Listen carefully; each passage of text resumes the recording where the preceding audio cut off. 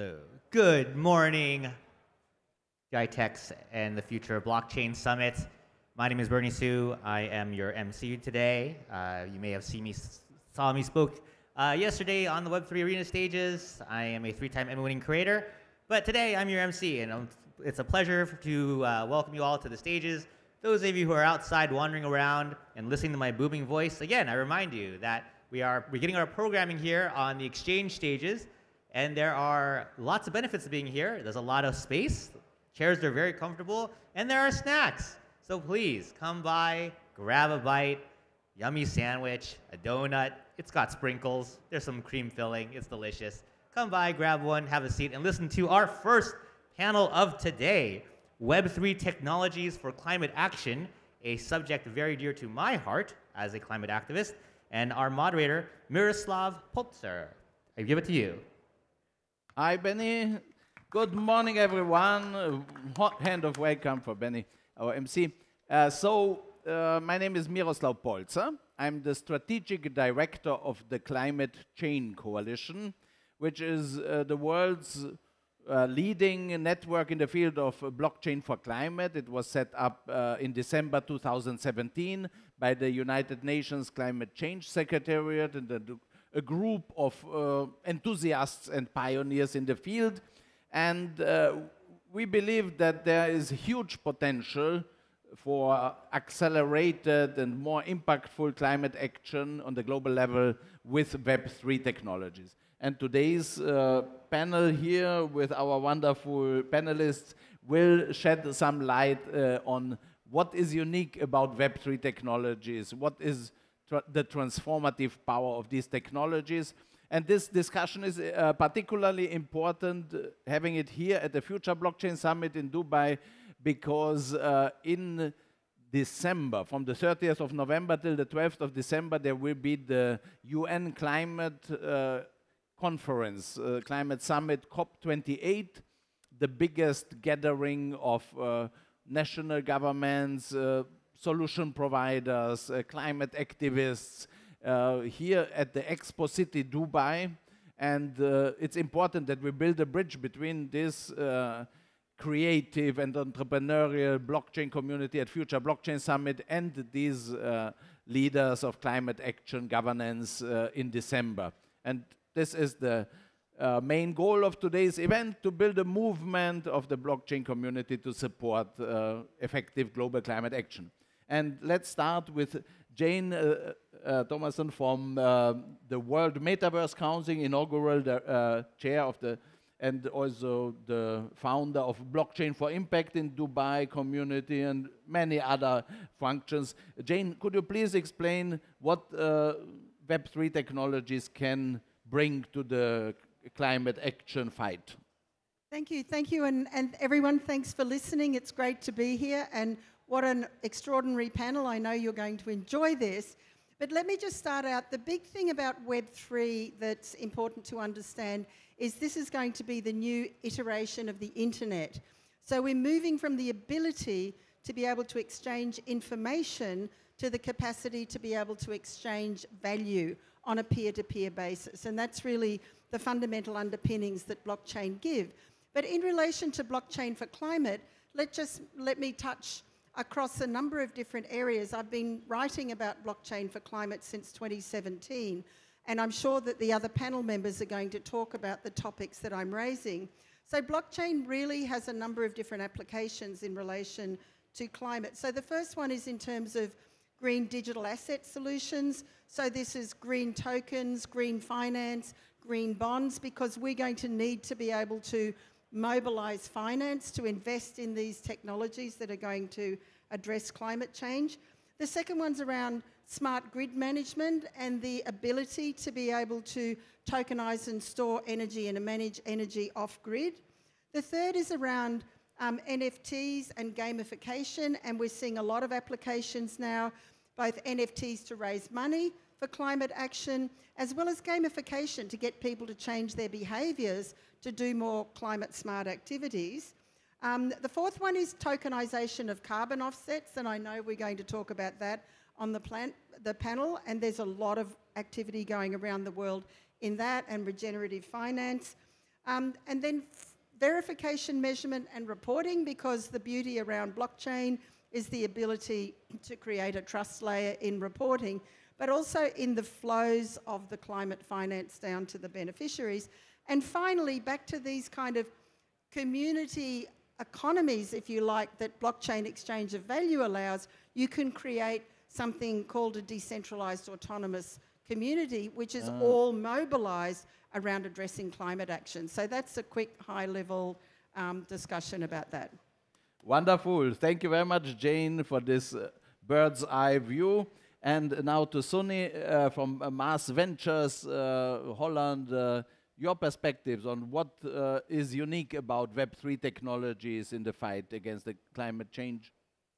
Thank you very much, Miro, and thank you for having me here with all the wonderful panelists. So um, myself, I uh, have a computer science background, so I'm quite active in the blockchain and Web3 domain. I'm based in the Netherlands.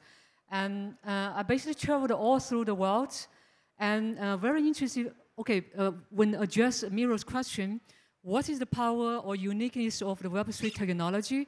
Uh, we need to first understand what are the problems in the climate actions. Good, yeah. So for the problems, um, what we can feel directly, that will be uh, measurements, uh, transparency, efficiency, or something like that. I give a very short story that I was in Cannes uh, International Creativity um, uh, uh, this year in, in July. And um, all the Fortune 500 corporates, the CMOs, the executives are there. And they admitted that they have commitments to Paris Agreement to net zero in 2050. Well, they don't know exactly what to do. And especially several really uh, big names, and, and they told us that it takes years for them to even come up with a plan. So that means that the, the major problem for everyone is that to figure out a pathway to achieve that goal. And this guideline for now is somehow missing because we have a goal, but we don't have a guideline how to achieve that goal. And this basically is a mission for every country to figure out themselves and for every company to figure out themselves. Well, technology can definitely help on this journey because if we look at what Jane has said, we do have wonderful, a lot of uh, technology available now. Well, um, the biggest issue in the whole uh, uh, climate action scene is the coordination. Think about this is a global, uh, global issue. You're, you're, not saying in my country, in my space, uh, 1.5 degree down, and in another country is 2 degree up. You can't do like that because we are in one global, um, yeah, we live in the one earth. So um, for coordinating this, you will do need to build a, a unique and, and integrated system that everybody can access, everybody using the same standard, and everybody act the same. So this is something Web3 for sure will uh, help and can help. So I would like to ask everyone, how many of you heard about the, the term regenerative, regenerative finance? ReFi. Okay, oh, many of, many of you. So I think this is our future. Our traditional finance, we all know our banking system now. And then we move to even know a, lot, a little bit about decentralized finance that is really utilizing blockchain's power for now.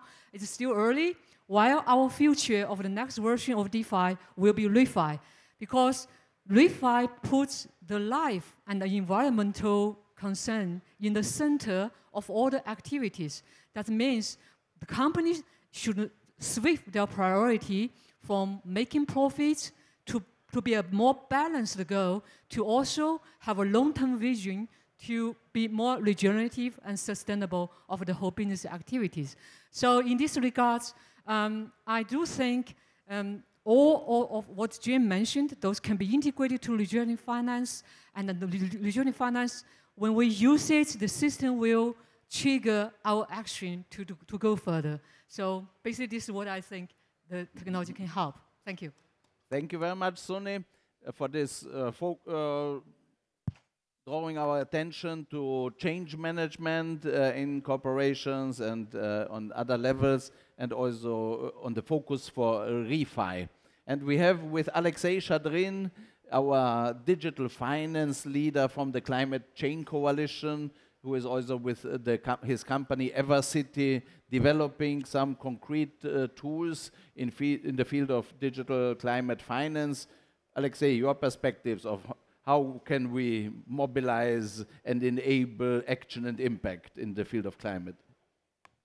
Thank you, Miro. Um, so my name is Alexey. I'm CEO and founder of EverCity, which is a green debt and carbon origination platform. And we focus uh, on the problems of lack of access to green finance uh, in developing countries. And we try to provide this success, accelerate this success with uh, Web3. So I see three main um, areas where Web3 and green finance um, actually uh, interact and improve each other.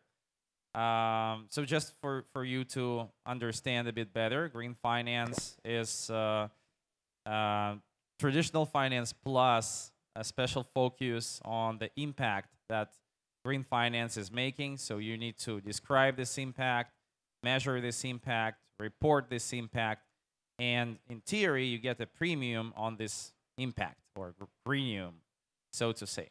So uh, the three areas are, so first of all, Web3 can improve existing green finance instruments by uh, making them more efficient, streamlined, faster settlements, if we're talking about uh, bonds, for example. Um, and of course more transparent distribution, which is, for example, specifically important in carbon because sometimes, you know, carbon project developers, they get the most of the carbon revenues and uh, there is close to nothing uh, that is going to communities that actually produced uh, carbon emission reductions or, or avoidance. So it's a very important uh, improvement point. Uh, next, um, there are Web3 native mechanics uh, that are helping to improve green finance. And here we can um, recall the example of uh, that introduced um, pools and yield farming for carbon markets, which actually exploded the market and uh, more than 10% of uh, all the carbon credits uh, in a certain year, I think it was 2019, they went through KlimaDAO. So that was like a huge uh, bang for the industry, which disrupted the industry in a good way because players, legacy players, started to uh, innovate and they real realized that there are incumbents and new competitors coming.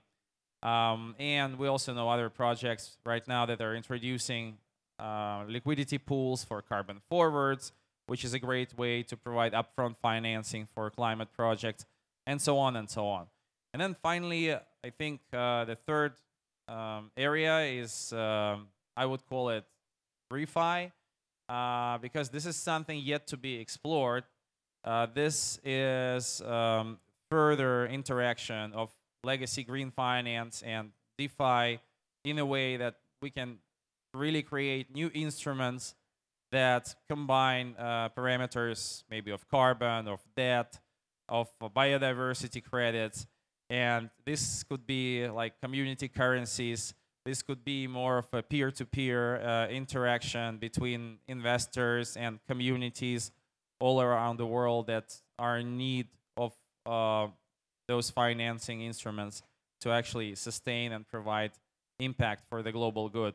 So these are exciting times, and um, uh, I encourage those of you who are coming from DeFi, uh, look more into refi because I think that refi is the future of, of DeFi um, in a way. Thank you very much, Alexey. And um, it's um, from a systemic perspective, these uh, last few points were also that uh, Web3 can help to overcome market failures.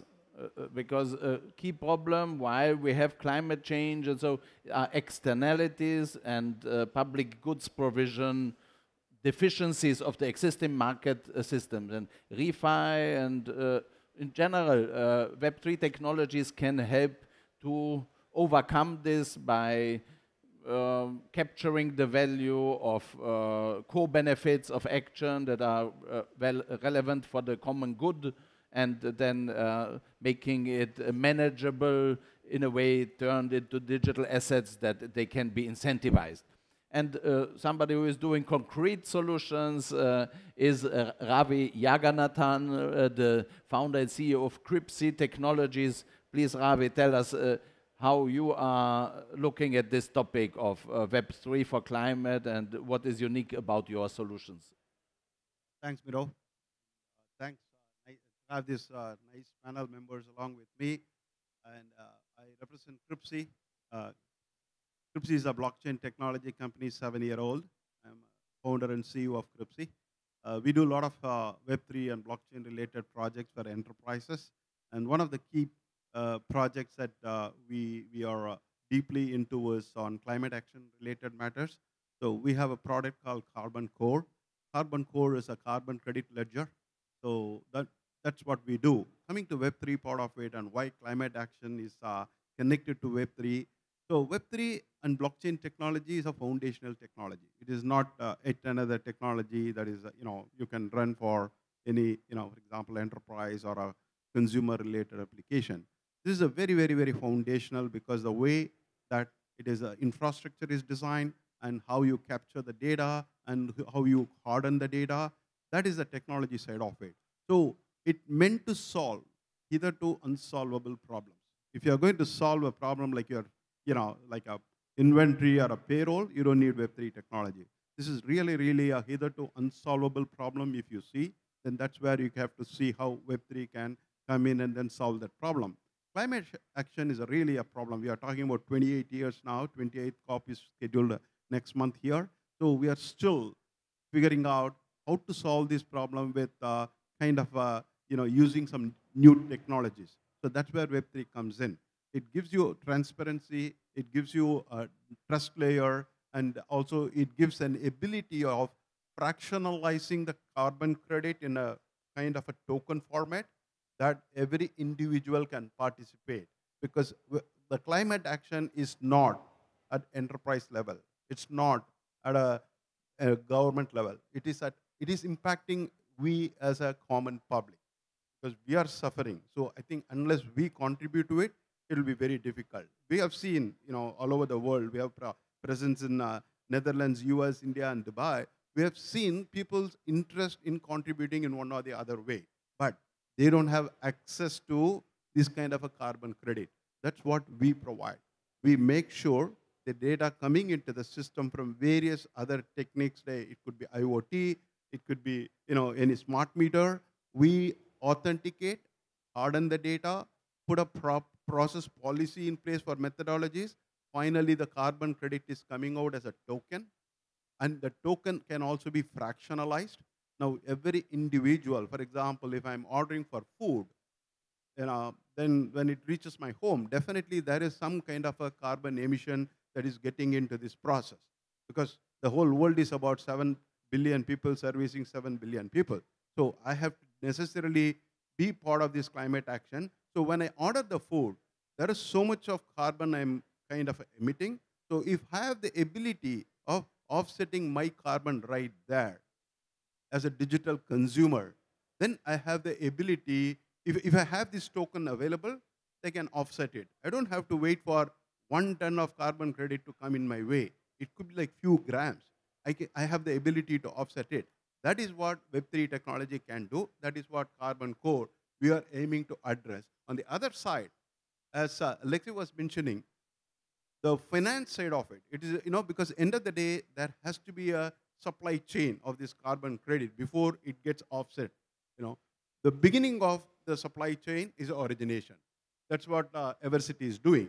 Because when you are able to get that kind of a finance, then it is easy for us to track the whole carbon credit without having to worry about where the money is going to come from. So all these combined, uh, you know, activities Web3 is providing. Because end of the day, carbon credit or a carbon emission on the other side, it is a debit and credit. It's a ledger. So we are talking about having multiple projects across the globe and multiple emission points across the, across the globe. A distributed ledger is very essential. That is what Web3 is about. And uh, I'm proud to be part of this, uh, you know, Carbon Core initiative and the Climate Tech initiative because some way we have to contribute to the, uh, the nature and also the common public. That's what we are doing. Thank you very much, Ravi. And you somehow mentioned also in the concrete uh, implementation of projects, it's not only about blockchain, but it's also uh, smart meters, and also it's uh, also about the convergence of uh, technologies. We have to uh, look at the digital measurement, reporting, and verification through IoT, and then we have to work later on, uh, on another level on data analytics, using also AI and so with uh, all these uh, new uh, technologies in a systemic approach, we can have really transformative impact.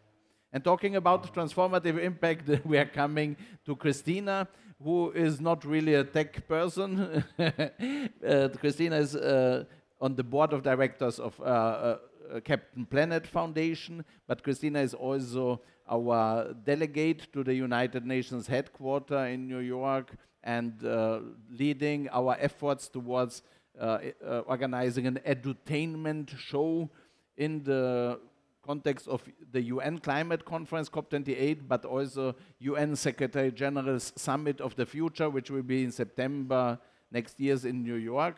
And my uh, question or segue to Christina is, we have all these technologies, beautiful technologies, uh, but somehow we are not making progress in technology adoption.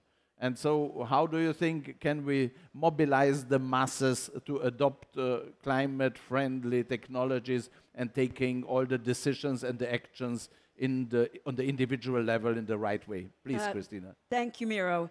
Yes, there's a reason why I'm all the way out on the end here, and it is because I'm kind of so low tech. However, you know, there is a balance that needs to be brought in because the one thing AI is not going to be able to do is love. AI will never love you. You may think AI is going to love you and someone's going to manipulate you into that, but that's never going to happen. Therefore, and in loving the planet and understanding what's going on in the world, we're needing, we need our new technologies. We desperately need them, but we also need our love for humanity to come up and and balance both of that.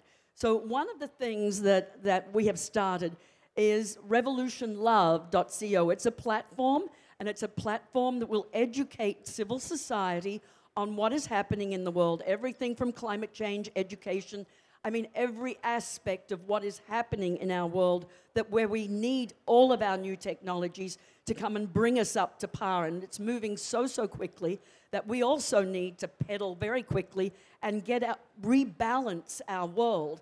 Because when technology soars, then everything to do with humanity starts to flutter a bit. So there are, we have built this platform to educate and to illuminate and then to bring you into showing you how you can take action. And you have to take action through your technology. It's the only way we're going to get there. So let me show you three one minute social media messages that are outreaching to tell people how to come and then how to find you and you and you. Can you play it?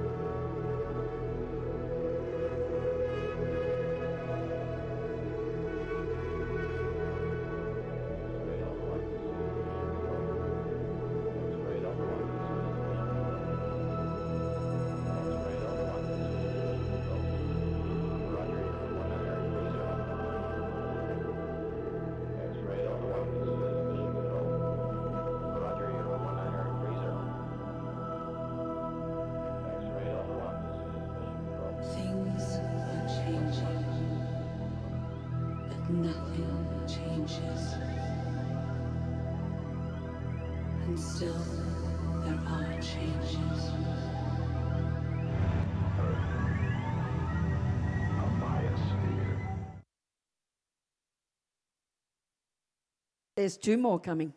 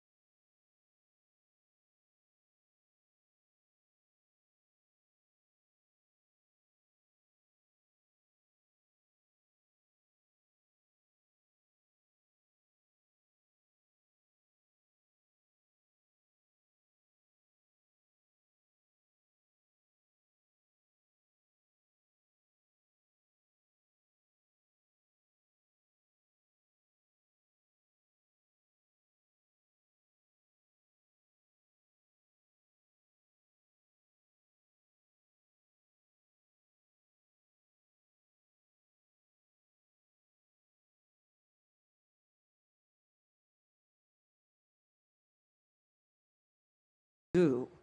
Incredible. One more.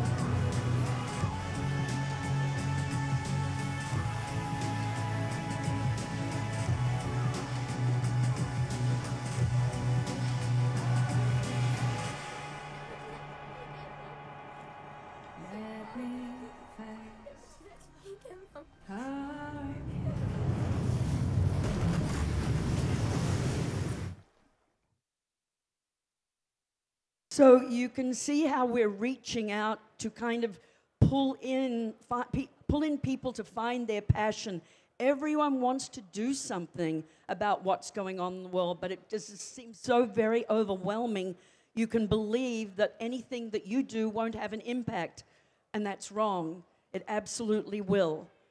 So, and here we are. Here are the people that will show you the pathway, and we will show you the direction. Thank you very much, Christina, for your inspiration. And it's really all about emotions that are then really triggering action. We can have super uh, concepts, super technologies. Human beings need this emotional push and the community uh, that will then drive action. And uh, my organization, uh, I, IGLOCHA, in addition to the Climate Chain Coalition, I have my own NGO and social enterprise. Uh, we are, have uh, two efforts in this field. One is uh, Digital Art for Climate initiative.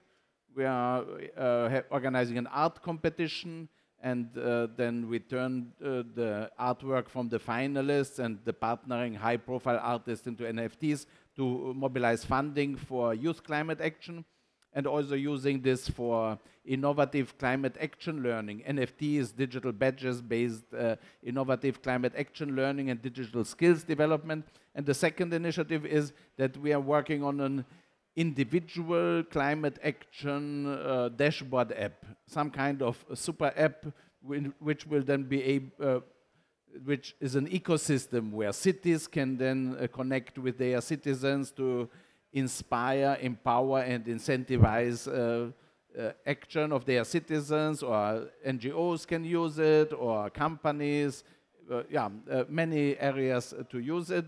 And we will have uh, presentation of these initiatives at the climate conference. We have our own pavilion in the COP28 Blue Zone, uh, and um, then end of May, early June, we will have a uh, co-creation festival in Austria, and then we will bring the artwork, the messages, and the tools to the UN headquarters in New York in September next year for the UN Summit of the Future. And this was the first round of uh, introduction. Now I would like to introduce also two partners, very important partners for the topic of Web3 for climate action, starting with Nena.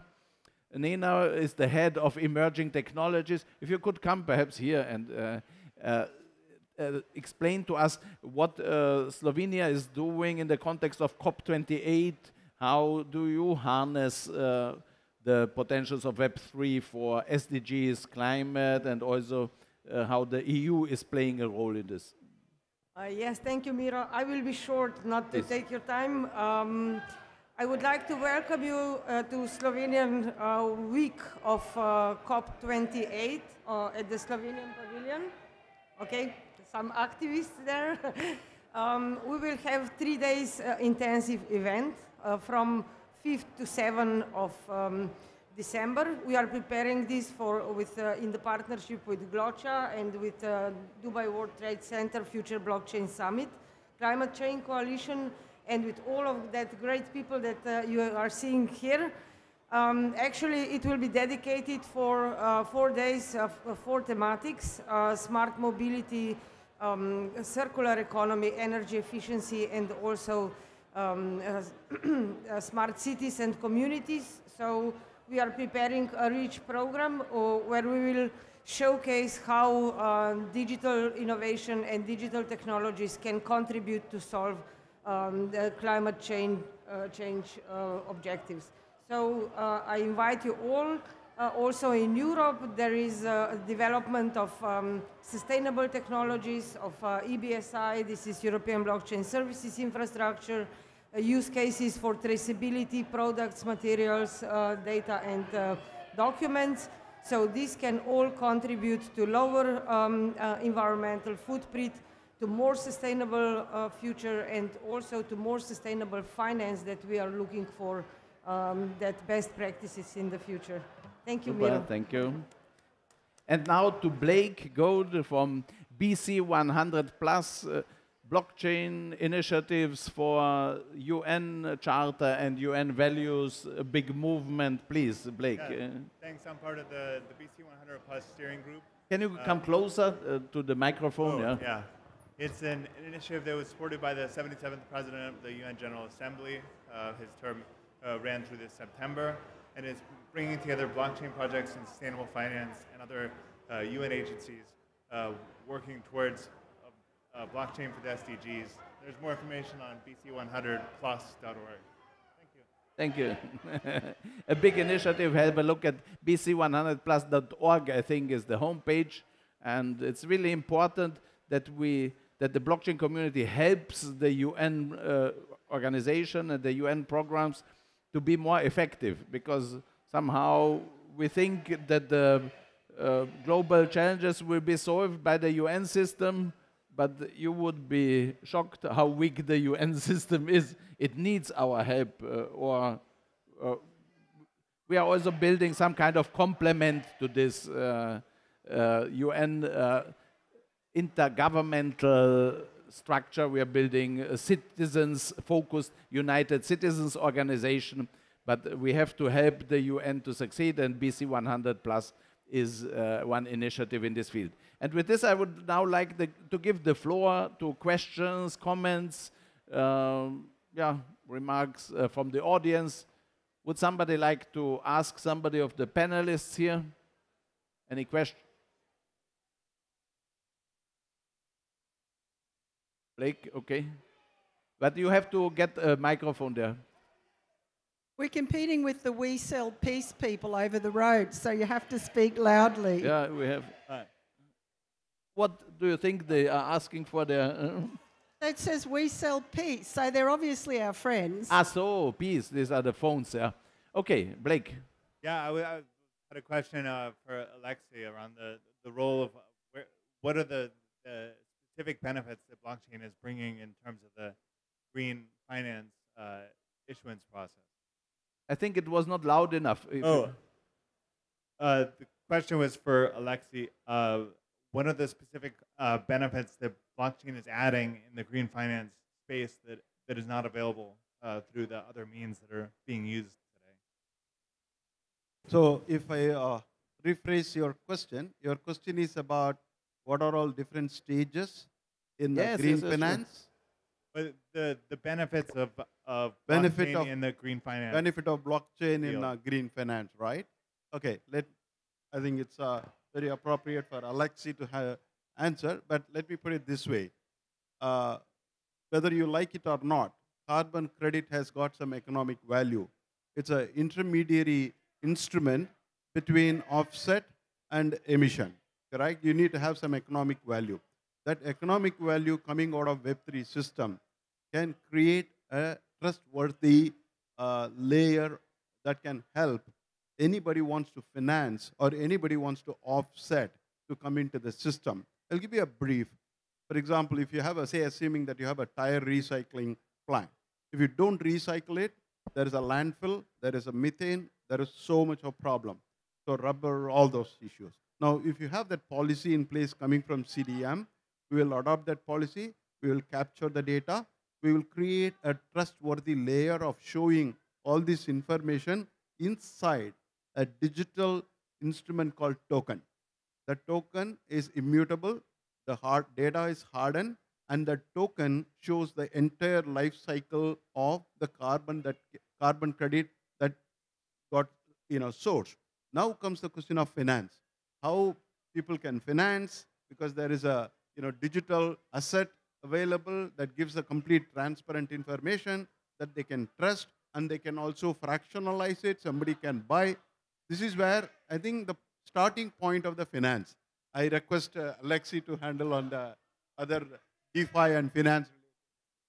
Sure. So just to elaborate uh, again on the benefits of blockchain for, for green finance, we might look at the various stages of the green finance life cycle. So as said before, uh, green finance uh, has two layers: financial layer and green green layer, where you need to measure, uh, quantify, forecast, uh, and report the impact that the green finance is making. So at the structuring stage, you have all sorts of stakeholders working together on the papers, forecasting the impact, whether it's a green bond, whether it's a carbon credit. In the beginning, you're making all sorts of you know, papers um, according to international standards where you forecast the amount of greenhouse gases that will be reduced or avoided. Um, and here it's especially important to calculate it right, to take into account all sorts of, you know, details, specifics of those standards, of the calculation methods. So it's not easy.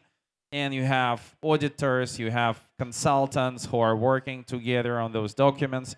So it's really important to track all of their actions and how this was calculated and what was stated in the documents, how it was verified, and so on and so forth. So uh, transparency, traceability, starting from the beginning. And then Then when we're coming to the issuance stage, uh, I think it's more or less the same as for financing and um, you know as, as in blockchain for finance because you can enable faster settlement, less signings of contracts and papers. It's seamless settlement, and everybody sees the same picture. For example, on the interest rate uh, of a bond, how it's calculated, what's the current interest rate, um, and of course, it's additional liquidity because for carbon forwards, for example, those are Alexey, we will have uh, to close. yeah, okay. Uh, and on the monitoring and reporting side, it's also uh, transparency and traceability because you need to measure how the money was used. So Thank as- you. We have a quick question here. Then uh, Jane would like to announce something. Or please. Okay, good morning. Uh, I have a quick question. Okay. Um, uh, of course, our uh, concern is about the environment, the carbon footprint of every technology. Uh, but what I know about uh, Web3, blockchain, they are they are also having levels like level one, level zero, level three, and then uh, this built on the top of uh, servers, uh, network level one, level two, level three, and then there is a uh, physical network level one, level two. So there are too much consumption of energy before we start uh, having effective Web3 uh, implementation. Uh, I don't. This is not waste, I know, but there, is there any initiative to reduce the number of layers underlying Web3 uh, to bring it more to the physical uh, layer? Uh, are you aware of any initiatives? Okay, that's quite a big question. I guess. Would somebody like to quickly answer, please? And look, thanks. I'll answer that and I'll go on to talk about what I wanted to talk about anyway. But thank you for your question. Um, and indeed, blockchains have been criticized for their energy usage. Uh, a big change, of course, was the Ethereum merge, which changed Ethereum from um, a proof of work to a proof of stake mechanism, which means that it's now 90 something percent um, less energy intensive. But also, a lot of the blockchains are using alternative energy sources. So, I, I don't want to spend five minutes answering your question, but the answer is yes, there are many initiatives. But I also wanted to go on um, and mention to people because we, we're talking about things that are happening around the world. But in this region, West Asia, next week in Oman, the UN Environment Programme will be releasing their first ever report on digitalisation and the environment, which I was privileged to work on. Um, and it addresses exactly the climate and environmental challenges in this region. But I did want to say 80% of the energy consumption and waste comes from computers. not from blockchains. But within that report, and I encourage you to get it when it's released, it talks about the convergence of all the different technologies and how it can be used to um, avert the environmental crisis in West Asia, which is not just climate because it includes pollution and waste and it also includes um, biodiversity degradation. So please look out for that and it can bring all of these conversations together. Next week, uh, 24th, it's going to be released in Oman. Thank you. Thank you very much, Jane. Any uh, final remarks? Uh, Sunny you didn't have much uh, speaking time. Yeah. Uh, maybe I spent maybe one minute or two minutes. So I would add One up. One minute. Yeah. Mhm. Okay. I would add up uh, uh, is power of sharing knowledge. I think we should really uh, speed up um, the educational part as well. For instance, the education to the executive that they really understand what's the problem they have, what they can go, and also to identify the best practice. And we don't need to reinvent the wheel for every company uh, 1,000 times, repeated that. If we have best practice, we should, we should, uh, we should promote that, and, and then the others can benefit from it. The second point is about we need to accelerate really um, startups, startups, innovative solutions. We need to encourage more um, women to step into become founder for, uh, for, for, the, for this kind of climate uh, tech. And more, more important is that um, the investment itself um, need to swift the priority to be uh, only focus on the uh, more, uh, let's say, uh, impact, Yeah, yeah. with with imp, uh, with with uh, generating uh, generating uh, profit to be generating income. Uh, sorry, to be generating impact to make a good balance of income and the impact. Yeah. Thank, you, very much. We have to conclude. Uh, it's 11:45. Thanks, our panelists. Give everybody a hand of uh, applause to the great panelists. And if you are working on uh, blockchain for climate, if you'd like to become members of Climate Chain Coalition or involved in the UN Climate Conference, see us around here. We are open to conversations. Thanks.